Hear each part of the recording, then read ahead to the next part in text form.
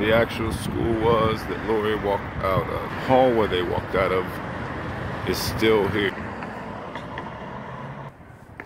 They would have walked right out of this hallway here. That is the very hallway that Lynda and Laurie walked out. And they were getting out of school, talking about the cheerleading and all that.